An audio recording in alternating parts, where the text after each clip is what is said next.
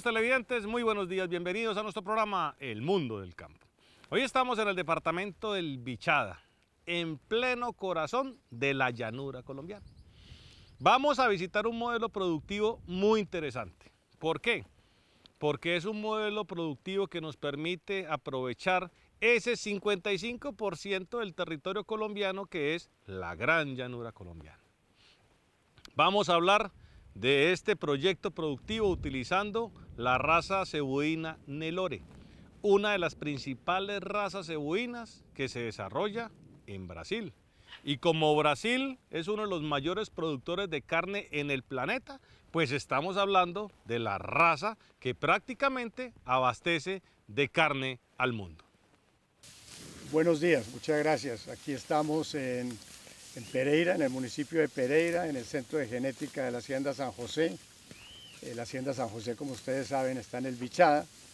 Aquí es donde hacemos el trabajo de producción de, material genético, tanto para nosotros como para nuestros clientes.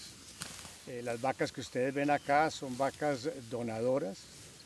Ellas eh, son aspiradas cada 20 días y son la selección de, un lote de, vacas, de 70 mil vacas en Brasil, Paraguay y Colombia. Ellas se seleccionan dentro de ese rebaño y estas vacas están eh, entre, el, entre el 5% superior de todo ese rebaño. Lo que buscamos con estas vacas cuando hablamos que son superiores es básicamente eh, identificar eh, la fertilidad en estas vacas, que ellas realmente eh, se, diferencien por ese, por ese factor. También igualmente importante es la precocidad, la precocidad sexual, la edad de primer parto. Estas vacas buscaríamos nosotros en este medio ambiente en Pereira, a 1100 metros de, de altura con esta calidad de suelos. Estas vacas deberían estar peñándose normalmente y las hijas de ella a los 12 meses. En el bichada esta misma genética por las condiciones del medio ambiente, unas, unas, tierras menos fértiles, eh, se estarían, se estarían eh, eh, preñando alrededor de los 15 a 18 meses. El proyecto de la Hacienda San José es un proyecto que comenzó con una idea que se me ocurrió, cómo ayudar al, país, cómo ayudar a que el país encuentre en, en el agro, en el campo, las oportunidades que tiene y decidí hacer una unidad que la gente pudiera copiar, que fuera rentable y que fuera competitiva, que pudiéramos eh, producir ganado a, precios competitivos y carne a precios competitivos con Australia, Estados Unidos y Brasil.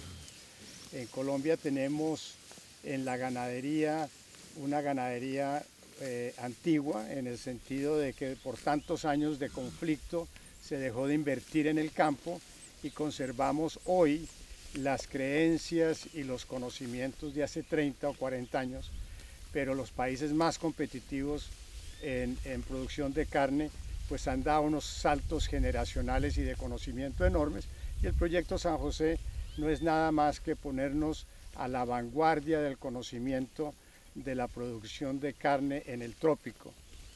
Eh, ¿Y por qué la pecuaria? Pues la pecuaria es una producción de proteína animal. En Colombia el consumo de pollo y de cerdo ha incrementado enormemente y se le ha pasado a la carne de res.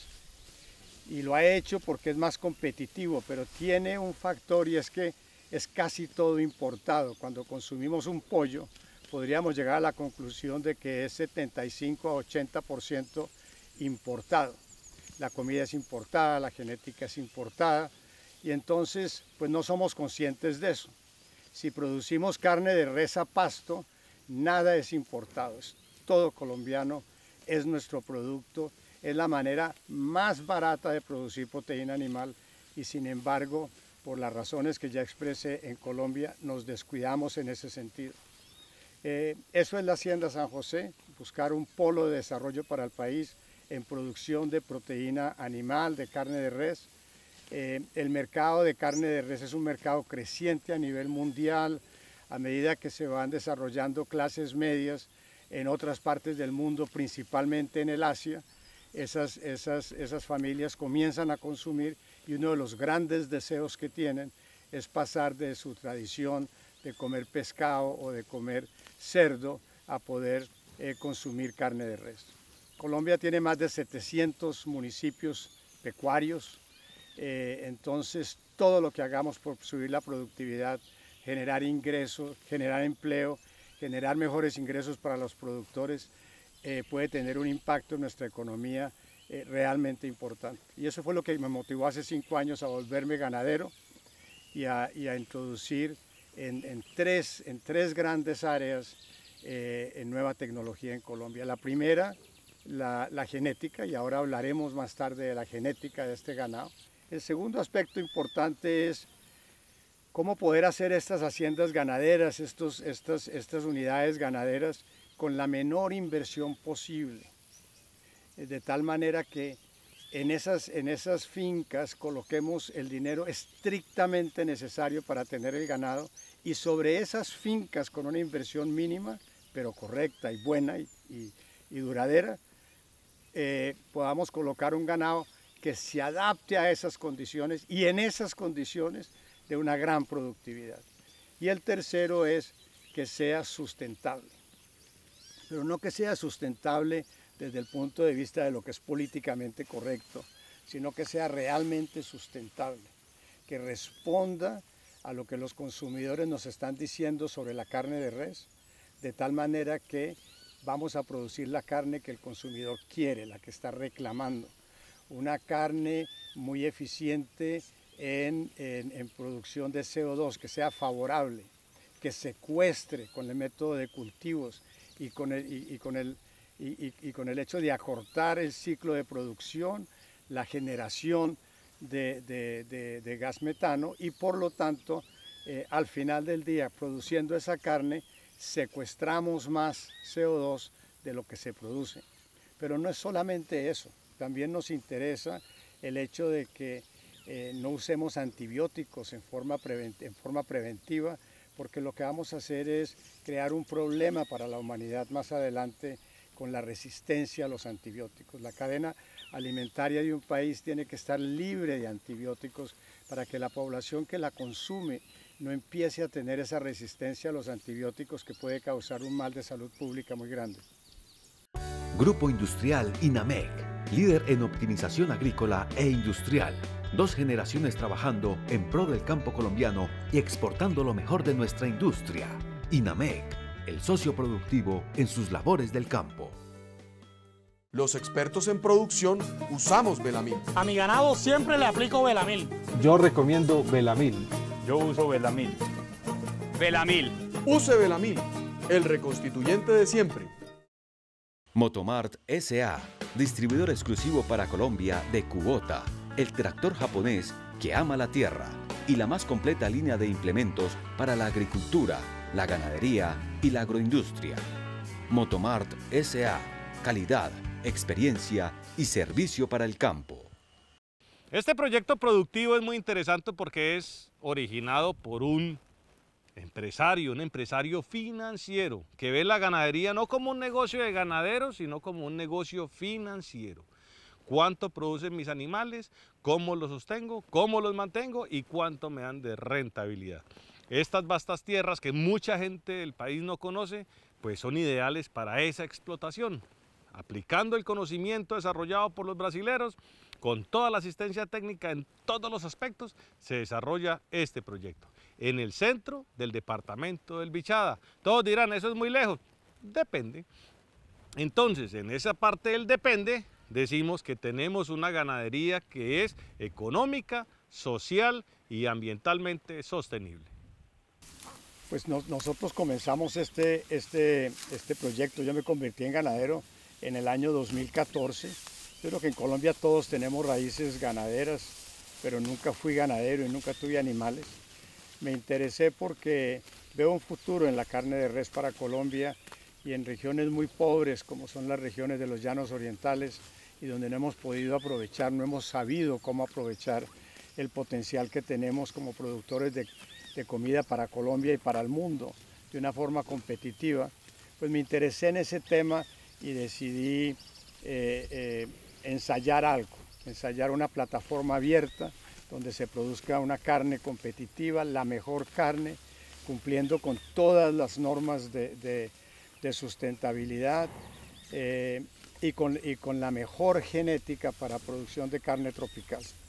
Eh, y estudié el tema y una de las ventajas de hacer una cosa eh, sobre la cual uno no sabe nada es que tiene la humildad de ir a buscar lo mejor, sin pasión, sin, sin el bagaje de la historia y sin el bagaje del orgullo y de otras épocas que es tan bonito y tan importante.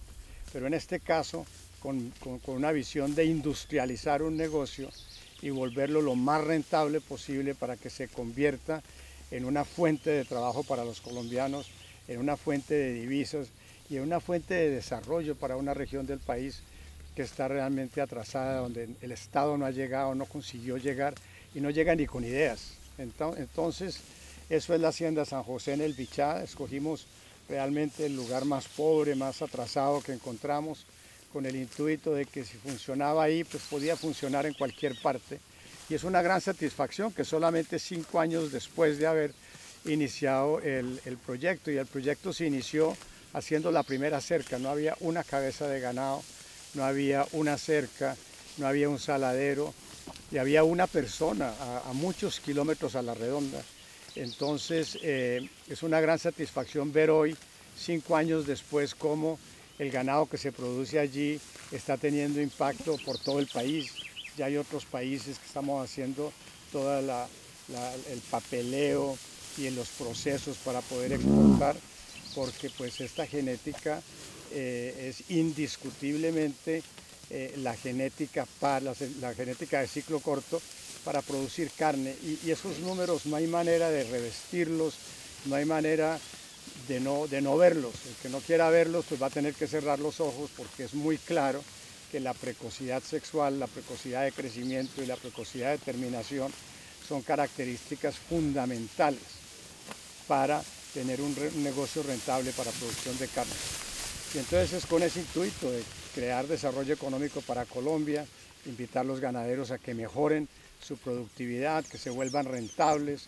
Y ese es nuestro propósito y tengo una gran satisfacción con que hay veces que uno hace cosas que no funcionan y hay veces que hace cosas que funcionan y la Hacienda San José funcionó. Eh, cuando empezamos el proyecto pues estudiamos todo y como digo, como no había pasión, pues cuáles son los mejores pastos y ensayamos y trajimos profesores de universidades, de universidades brasileras, se hicieron experimentos, ensayamos cantidades de cosas y encontramos un pasto que para los llanos orientales de Colombia, para cría de, ganado cebuino, es sensacional y era la braquiaria humidícola. Y tecnificamos ese cultivo al punto de poderlo hacer sin, sin, sin hacer enmiendas en la tierra que le son tan costosas a los ganaderos que puedan sembrar esa braquiaria sobre la, sobre la, la, sabana y que lo puedan hacer mecanizadamente con estolón eh, y entonces bajando los costos brutalmente.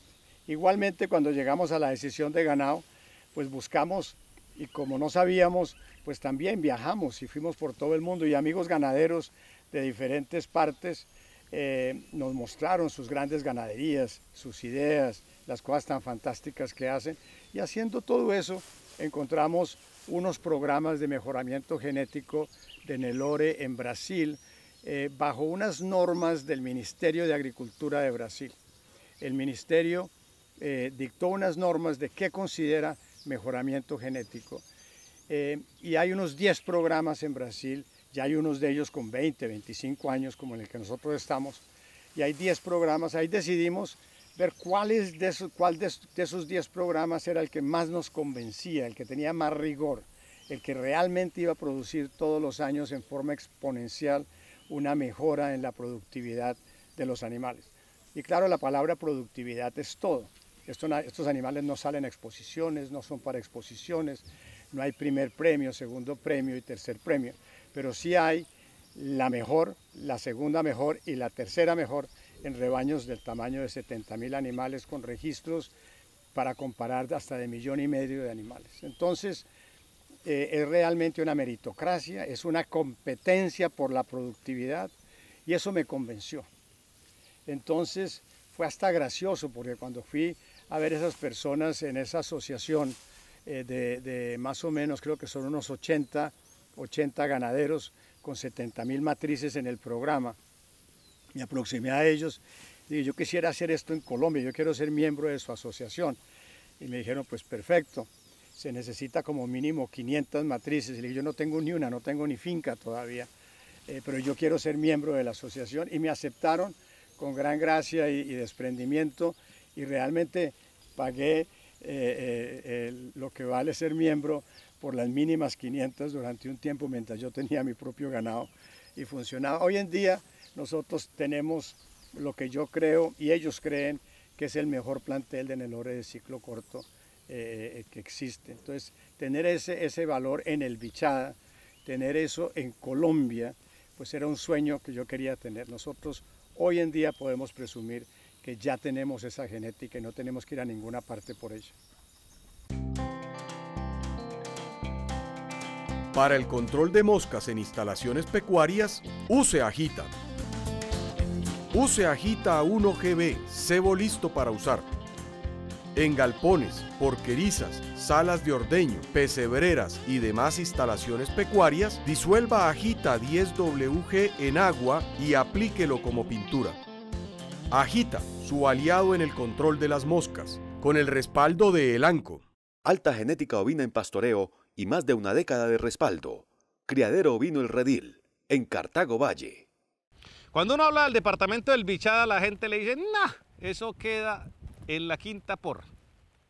Y van a ver, y es cierto, en verano es complejo y en invierno es complejo. Entonces hay que adecuar los factores productivos para maximizar el uso del suelo, como con la genética, como con las pasturas, con la administración, con el manejo del agua, con el manejo de todos los recursos para que cuando hagamos la ecuación final nos dé negro. El negro significa que nos dé rentabilidad. Eso es lo que don Gabriel vio en esta región del país, donde se podía hacer una ganadería igualitica a las ganaderías brasileras porque prácticamente es lo mismo, estas tierras son idénticas al cerrado brasilero y a toda esa zona productiva extensiva ganadera que ustedes han visto acá en el mundo del campo, donde la raza Nelore se adapta perfectamente y tiene muy buenas conversiones, tanto en carne como con todo el tema reproductivo para mantener el hato vigente. Es decir, tenemos el animal ideal para las condiciones que tenemos disponibles medioambientales.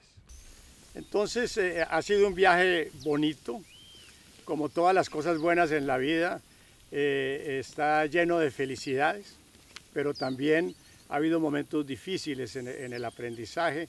Contamos con los mejores asesores, esa fue una regla y es la regla de la excelencia, es las mejores personas para cada tema y buscamos realmente, nunca hay la mejor, pero sí las personas reconocidas y que nos convencieran a nosotros que estaban dispuestas a venir al medio ambiente de los llanos orientales con cabeza abierta, usar ese conocimiento y sabiduría que tienen para aplicarlo aquí. Y entonces así lo hicimos en pasto, en, en bienestar animal, en transporte de animales por río. Para todas las actividades trajimos lo que considerábamos las mejores personas para eso. Y aprendimos muchísimo. Y tuvimos momentos eh, también muy difíciles, momentos en que las cosas no nos funcionaban, o funcionaban y eran lindas y nos sentíamos orgullosos, pero cuando hacíamos las cuentas, las cuentas no daban.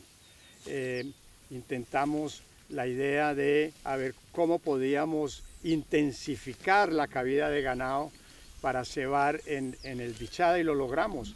Eh, ganado F1 Angus de 28 meses a pasto y sal con 550 kilos, potreros enteros, lindísimos, pero cuando hacíamos la cuenta en la curva de rentabilidad, era menos rentable que tener una cabeza por hectárea sin, sin, sin eh, eh, el, el, abono que había que echarle a esos pastos y unos pastos mejorados que requerían enmienda en la tierra. Entonces, finalmente, después de, después de hacer el curso completo y, y no sin asumir el, el, el costo de eso, eh, llegamos al momento de la fórmula que creemos que es la fórmula del bichada para tener eh, eh, la mejor rentabilidad y la mejor ganadería de cría competitiva con la de cualquier país del mundo. Después viene el tema del ciclo corto y el ciclo corto nos convenció porque cuando miramos por qué el, consumo per cápita del pollo eh, subía a un, ritmo enorme, el consumo per cápita del cerdo, de la carne de cerdo, subía a un ritmo, a un ritmo enorme y, la, y, la, y el consumo de la carne de res descendía un poquito. Entonces, ¿por qué están prefiriendo las, familias esta carne? Obviamente porque le ofrece una mejor oferta de valor a la ama de casa. Es más barato, es más barato eh, eh, darle a la familia la proteína animal de pollo y de cerdo que de res. Entonces, buscando eso, pensamos, pues, ¿qué fue lo que hicieron los del cerdo y los del pollo para lograr esa posición en el mercado? Porque hace 25 años o 30 años o 50 cuando yo era pequeño, pues realmente el pollo era una cosa para fiestas y el cerdo también. Y, y la carne de res era la carne de todos los días. ¿Por qué se invirtió eso? Y cuando miramos, era el ciclo corto, el ciclo de producción del pollo. Bajó con mejoramiento genético meritocrático, bajó de 105 días a 30 días eh, entre nacimiento y sacrificio. Y en esos 30 días produce varias veces más carne de lo que producía en los 105 días. Y el pollo exactamente igual, de 360 días a 120. Los dos bajaron a una tercera parte. Y el ganado de carne tropical se quedó igual. Se quedó en aquel animal que a los cuarenta y tantos meses llega a los 550 kilos, como lo hacía en las fincas de mi abuelo eh, cuando yo era pequeño. Y entonces el ciclo corto lo que hace es introducir la tecnología del pollo y el cerdo, exactamente la misma, la misma ciencia, el mismo rigor científico, al, al ganado de carne de res, al ganado vacuno. Y eso es lo que estamos haciendo acá. Y ya tenemos ejemplos de bajar a una tercera parte la eficiencia en el ciclo. Por ejemplo, eh, eh, eh, la, edad de la primera peñez pasando de treinta y tantos meses a nueve a doce o catorce meses, pues ya es una reducción enorme en el ciclo de producción. que, que el animal comience su vida reproductiva tres veces más rápido de lo que lo hacía antes. Y después viene la precocidad de crecimiento. Un animal que crezca muy rápido en los primeros meses de vida y después pare el crecimiento y comience la terminación y se prepare para, para el sacrificio. Ese es el ganado ideal. Entonces, eh, eso fue lo que nos convenció, pero no es que sea solo ciclo corto, es la armonía del programa. La armonía del programa comienza por el peso al nacimiento, que el peso al nacimiento sea pequeño, que sea fácil para esa novilla y para esa vaca tener ese parto, reducir el índice de mortalidad y los costos de atender partos. Eh, y desde allí hasta la precocidad sexual. Entonces, eh, el desarrollo antes del destete, el desarrollo después del destete, es tan importante el uno como el otro. Hay una fijación de peso al destete, pero el peso al destete está muy influenciado por la madre y necesitamos que ese individuo, cuando no tiene la madre y afronta por primera vez su verano y su invierno solo en el potrero sin la madre tenga un desarrollo igual o mejor que el que tenía cuando, cuando, lo, cuando lo hizo mamando. Y entonces es un programa con armonía, es un programa que tiene tres índices, tiene un índice para calificar desarrollo hasta el destete, tiene un índice para calificar no solamente hasta el destete, sino hasta los 14 meses, y tiene un índice maternal para poder seleccionar las matrices que son la base de un rebaño eh, por su longevidad, por su fertilidad y por su precocidad. Eh, son la base de un, rebaño para sobre ese rebaño, ya con cualquier cruce o sobre el mismo Nelore, puedan realmente eh, producir la carne que quieren. Bueno amigos televidentes, si se ha perdido algo del mundo del campo, no se preocupen, los invitamos a todas nuestras redes sociales, Facebook, Twitter, Instagram. También nos puede buscar en nuestro canal de YouTube y nos puede observar todo el archivo en nuestra página web www.elmundodelcampo.tv. Para la ranilla, huequera, secadera y fiebre de garrapatas, Emox B12, un producto de Laboratorios Megabet. Más carne, más joven y de mayor calidad con Blonde Aquitán de Criadero Vista Hermosa. Shindaiwa, los especialistas en guadañadoras para trabajo pesado. B45, la guadañadora incomparable. Nuevos modelos B460 y B430 a un superprecio. Shindaiwa, la guadañadora japonesa más vendida en Colombia. Complex.55 de Farvet. Complejo B farmacológica de rápidos niveles de absorción. Con fórmula novedosa y compuestos sinérgicos para mayor efecto terapéutico. El complejo B con mayor producción. Complex.55. Diprocar combate los hemoparásitos y anemia en sus animales. Un producto de Laboratorios Colbet, creando bienestar. A mí me preguntan mucho por qué fuimos al Bichada, tan difícil de llegar allí, tan lejos, eh, tan agreste. Ah, hay la idea de que aquellas tierras eh, son muy malas y la verdad es que son poco fértiles, pero en la estructura de la tierra y en las condiciones de agua y en la topografía, pues tiene unas ventajas enormes sobre otras regiones del mundo. Sin embargo, escogí el Bichada porque quería hacer algo donde, donde Colombia realmente tiene una oportunidad de ser un productor de comida, que es un sueño de los colombianos que no hemos sabido materializar. Eh, y entonces, pues escogí el Bichada por eso. Allí las condiciones son muy difíciles y alguien se preguntará, pero ¿cómo es posible que alguien lleve lo que llaman, lo que, lo que dicen que es la mejor genética cebuina eh, para producción de carne tropical? ¿Por qué la llevan a la, a lo que podría considerarse la peor tierra. Eh, y entonces la razón es, es muy lógica, pues precisamente hay que llevar la mejor genética a donde hay las, las, condiciones ambientales más desafiantes, para que esa genética, adaptada a esas condiciones, eh, pueda producir un, un, ganado muy bueno. Lo contrario sería invertir en esas tierras y un poco luchar contra Dios eh, y hacer muy fértil lo que, lo que no está en condiciones de ser muy fértil y hacerlo con chequera. Y esa parece ser la tendencia de los ganaderos. Pero lo importante es tener una genética adaptada a esas condiciones y dejar esas condiciones lo más parecidas a las condiciones naturales posibles.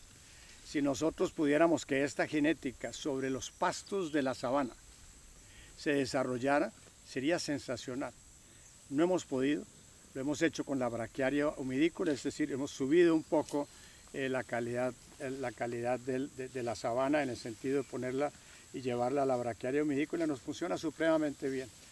Entonces, en la planeación, pues la parte financiera eh, domina todo, porque para soñar y para tener ideas, pues el tiempo sobra, y para hacer cosas fantásticas y bonitas también.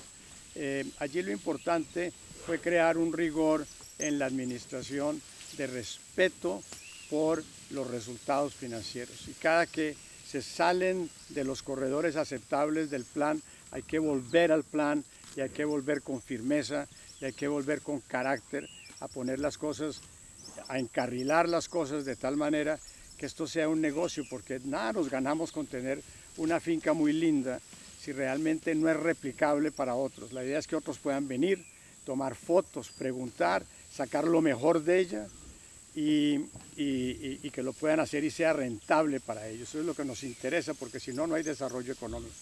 Y para ser competitivos con los países que ya que he mencionado tanto, Estados Unidos, Australia y Brasil en la producción de carne, eh, nosotros tenemos que usar el, mejor conocimiento, el verdadero conocimiento, el conocimiento que viene de investigación científica. Y en eso hemos tenido eh, muchísimo rigor. Y ha sido difícil para las personas que entran al equipo porque vienen con conocimiento o de sus universidades eh, eh, o vienen con conocimiento de sus familias. Y, viene, y ese conocimiento viene muy arraigado. Y entonces muchas veces lo que decimos es, vea, limpie la cabeza y empecemos de cero. Y muchas de las cosas que, que, usted aprendió, le decimos a la persona, van a ser aplicables, pero eh, solamente aquellas que tengan fundamento científico. Este 15 de octubre, primer remate de la precocidad Nelore ciclo corto con la Hacienda San José. Para curar heridas y gusaneras, yo recomiendo Lepecid. Lepecid, otro producto Zodiac. Los expertos en producción usamos Belamil. Aquí siempre usamos Belamil. Yo recomiendo Belamil. En mis vacas uso Belamil. Belamil. Use Belamil, el reconstituyente de siempre. Tracto Comercial, empresa vinculada al sector agroindustrial en Colombia. Representamos la marca Valtra con un gran portafolio para el sector y una gran variedad de implementos agrícolas. Estamos ubicados en nuestras sedes de Bogotá, Villavicencio y Yopal. Los esperamos. Hablar de Nelora en Colombia hasta hace muy poquito tiempo era una cosa por allá como extranjera, como, ah, sí, esos son los brasileños, aquí tenemos el Brahman, eso por aquí eso no pega, eso trajeron unas vacas hace mucho tiempo, creo que fue el Fondodrí, eh, las soltaron, las botaron al llano y eso se volvieron unos pájaros, eso, eh, mejor dicho, quemaron la raza Nelore. Eso nos lo preguntamos nosotros hace 15 años en Brasil, pero ¿por qué esta raza no está tan afamada en Colombia? ¿Por qué no se desarrolla en Colombia? Pues resulta que faltaban los empresarios, que ahora ya hay varios y muy importantes, apostándole a esta raza, utilizando todo el tema de biotecnologías reproductivas y todo el tema de manejo zootécnico para garantizarle a estos animales lo que necesitan para expresar toda su capacidad productiva, tanto en crías como en carne. Entonces ha habido momentos simpáticos, muchos de ellos relacionados con el conocimiento tradicional y el conocimiento de, rigor científico. Y, tuvimos, eh, por ejemplo, les puedo comentar cuando hicimos el manual de transporte de ganado por río. Eh, pues eh, hacer un manual de transporte de ganado por río parecía una exageración, como una, como una locura exótica. Y resulta que los resultados han sido impresionantes y tenemos un manual de transporte por río. Y lo más bonito es ver que las barcazas, los capitanes de las barcazas que transportan el ganado por el río Meta, ya ellos comenzaron a, ver que sí funciona, que la mortalidad de los animales es, mucho menor en el caso del ganado comercial que pasan por esas balsas eh, río arriba y río abajo. no solo la mortalidad, sino la pérdida de peso de los animales y cómo haciendo las cosas bien se minimiza la, la pérdida de peso por el confort de los animales por mantener todo el funcionamiento ruminal del animal durante viajes de tres y cuatro días por río. Y eso todo se hace basado en conocimiento. Y trajimos realmente expertos que cogieron el ganado, lo sacaron del potrero y lo llevaron hasta Villavicencio, lo caminaron dos días, lo pasaron por el río tres días, después lo montaron en camiones. Y esos ganados llegaron en mejores condiciones y hoy llegan en mejores condiciones de, lo que llega un animal en camión en el interior del país en un viaje de 5 a 8 horas. Entonces, pues hay conocimiento para todo. Después momentos también cómo arriar el ganado y el manual de arreo del ganado. Y la gente se pregunta, pues están locos, arriar el ganado es arriar el ganado, un tipo atrás, un tipo adelante y haga bulla y llévelos. Pero el ritmo al cual se arrea el ganado, el tipo de piso sobre el cual se arrea el ganado, la hora a la cual se arrea el ganado, la distancia del, vaquero líder adelante de la primera cabeza y la distancia del vaquero que va atrás, la distancia y cuál es el ritmo al cual tiene que viajar ese ganado y quién marca el ritmo, el vaquero de adelante, el vaquero de atrás o el último animal. Y es el ritmo del último animal el que marca el ritmo del rebaño. Y cuando se hacen esas prácticas, el bienestar animal, el conforto es, es brutal y, y se nota la diferencia. Estas cosas ninguna de ellas es importantísima por sí sola, pero cuando se introducen todos esos buenos conceptos eh, eh, en una ganadería, el resultado sí es importantísimo y, notable, se, se, nota en los resultados. Entonces, eso es solo para decir el manejo del, del corral. Las personas que trabajan en el corral son entrenadas todos los años en trabajo de corral y reciben un diploma de trabajo de corral. Eh, porque el entrenamiento es formal. El corral se trabaja en silencio. El corral tiene pasos y movimientos. Lo más importante es la seguridad de las personas. El confort de los animales es lo segundo más importante. Y la productividad en ese corral. ¿Cuántos segundos nos demoramos en cada animal para con gran conforto poder hacer cuatro, cinco, seis, siete intervenciones en ellos eh, de la manera más productiva posible? Entonces son momentos muy bonitos del proyecto, donde ha intervenido cantidades de personas y, hemos aprendido mucho. Y los clientes nuestros y nuestros vecinos pues están beneficiando de ese conocimiento porque nosotros no vendemos genética. Nosotros vendemos un paquete tecnológico de ganadería en el cual va la genética, para que las personas realmente aprovechen esa genética en su medio ambiente y tengan los mejores resultados. Nosotros tenemos una política de buen vecino y en la política de buen vecino transferimos toda la tecnología que tenemos, ayudamos, pero no paternalistamente, sino que ayudamos a que la persona sea más rentable por sí sola y y, les prestamos toros para mejorar su genética y los prestamos es para que no los vendan y para que no pase nada con ellos, pero realmente los prestamos de por vida y se los vamos cambiando para ir cambiando la, sangre y, es espectacular lo que estamos viendo y la alegría de esos, de esos campesinos, de esos llaneros eh, con, ganado mucho mejor, más productivo. Eh, es, una, ha sido un, aspecto de, pues muy, muy bonito y después ver que todos los vecinos nos podemos juntar y, hacer proyectos de educación para mejorar eh, eh, la forma como los niños aprenden, la forma como los profesores enseñan, la forma como los padres de familia son parte de, ese proceso de aprendizaje de los niños y cómo la comunidad también es parte y organizando todo eso también con conocimiento científico de lo que funciona y no funciona, eh, ha sido una experiencia maravillosa. Entonces es un gana-gana para la comunidad, es un gana-gana para la industria ganadera y es un gana-gana para el bichada.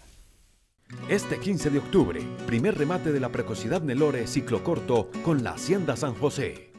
Roldivitazán ATP, energía para su ganadería y agroveterinaria Max Campo, presentes en Villavicencio en el Encuentro Mundial de Coleo, del 10 al 12 de octubre. Botas Venus, tu aliado en las labores del agro. Salas de ordeño Plus Agro, tecnología y rendimiento para producir una leche más competitiva. Plus Agro, su empresa de confianza. En octubre de este año vamos a tener eh, nuestro tercer eh, remate de, genética de la CIA de Mejoramiento de Brasil y claro de la Hacienda San José en el Bichada. Estos remates los hacemos para poder compartir lo mejor de nuestra genética con otros ganaderos.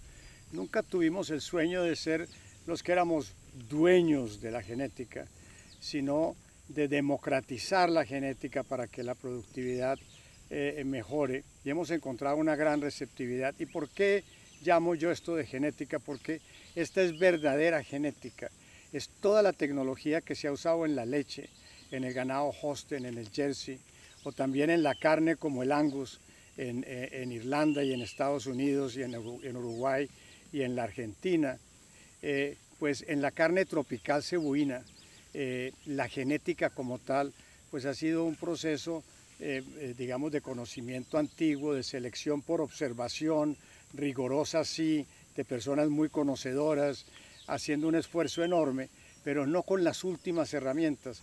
Este ganado que ustedes ven detrás de mí, todos son genotipados. Y el ganado que vamos a sacar ah, para, para, para proveer para el mercado en octubre, todos tienen producto de la genotipificación, identificados los genes en los cuales ese animal es potente, para que el ganadero pueda tomar decisiones inteligentes y con un índice de seguridad muy alto. Porque qué seguridad tiene uno de ver un animal espectacular, con 650 kilos, 22 meses de edad, y, y, realmente si no tiene los genes para transmitir eso, o lo que tiene es una cantidad de comida enorme que lo llevó a ese a ese nivel, eh, pues el ganadero que esté comprando eso para mejorar su rebaño, pues está sujeto a una aventura. Y esa aventura, eh, lo mejor manejada, era, era la manera como se manejaba la ganadería de carne eh, tropical hasta hace muy poco. Estos son los primeros pasos de introducir la tecnología, el conocimiento genético, el rigor de desarrollo de, evolución, de mejoramiento genético, para que las crías siempre sean mejores que los padres.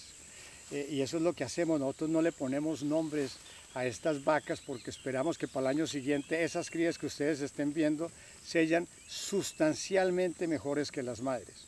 Aquí está, por ejemplo, la cuarta mejor vaca de 70 mil vacas en el índice genético de la compañía de mejoramiento del año 2018 de todos los nacimientos del 2018 está la número 4. Es una vaca normal. Es una vaca a la cual le sacamos embriones. De normal no tiene nada, ella es espectacular, eh, pero no tiene un tratamiento especial, no se cabrestea, no se le arreglan las pezuñas con colores y con cosas. Estos son animales de producción. Y ha sido difícil que los ganaderos entiendan eso. Para unos eh, hasta les, les molesta que esto esté sucediendo eh, y es entendible. Nosotros ante eso somos tranquilos.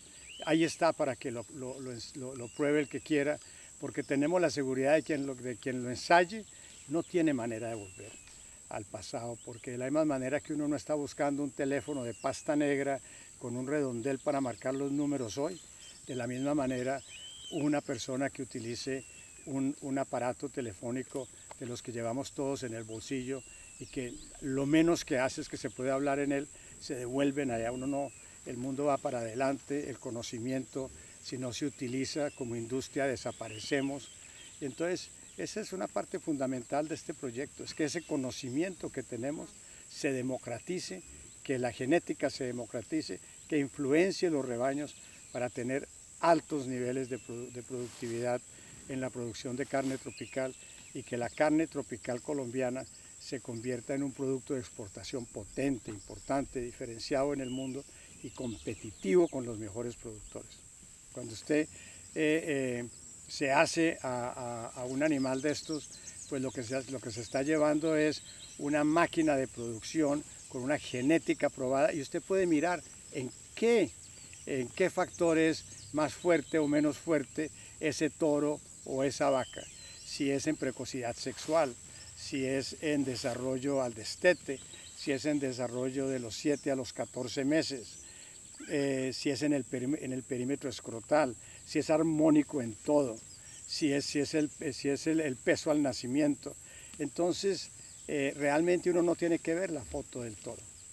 Ya los catálogos, digamos, dentro del programa de, de mejoramiento nuestro en Brasil, los catálogos de los toros no muestran la foto del toro. Lo que muestran son las DEPs, las evaluaciones porque eso es lo que el ganadero debe mirar. De la misma manera que es lindo ver una foto y un tractor, pero nadie compra un tractor por, la foto. Lo, compran porque tiene las condiciones, las revoluciones, los caballos de fuerza, eh, la tracción que necesita para eh, qué tan liviano, qué tan pesado es para los suelos donde lo va a llevar.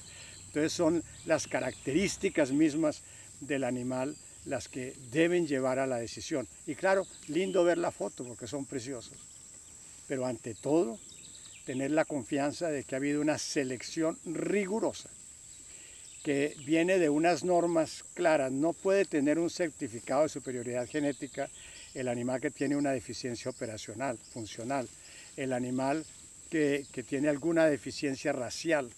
Eh, esos animales son descartados. Eh, y también la gran confianza de que si por alguna razón el cliente no está contento con el animal, se lo cambiamos, porque se trata de democratizar la genética y no de vender animales. Se trata de que las personas mejoren su productividad y entonces estamos estableciendo una nueva, una, digamos, una nueva norma en, la, forma de comercializar genética en Colombia. Eh, ¿Ha sido fácil? No, yo diría que ha sido difícil, pero un difícil lleno de satisfacciones porque nada más satisfactorio que ver todos los clientes que han comprado nuestro ganado, eh, a todos los visitamos un año, antes de un año después de que se llevan el ganado, a ver en qué condiciones está, si está produciendo lo que debería producir y en todos los casos vemos unos índices de satisfacción brutalmente altos.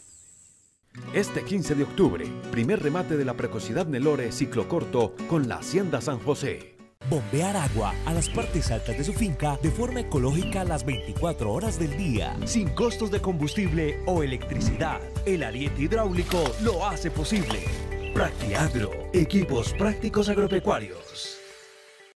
Motocultores e implementos Ideagro, soluciones alternativas agrícolas. En el mundo del campo no paramos y nuestros clientes tampoco. Unidos lograremos sacar nuestro país adelante porque nuestro compromiso no se detiene. Este es el mes en donde conocerás todo el poder de nuestras máquinas. Llegó la temporada de Motosierra Susbarna, una temporada llena de ofertas y muchas sorpresas. Vive el poder, vive la temporada de Motosierra Susbarna. Para más información visita www.temporadademotosierras.com.co. Bueno amigos televidentes, no olvidemos nuestra cita el próximo lunes bien tempranito, 4.05 de la mañana, hora colombiana. Y en el mundo entero, a través de los canales internacionales, RCN Nuestra Tele y RCNH. Y en las redes sociales a cualquier hora del día y de la noche, en cualquier parte de este planeta.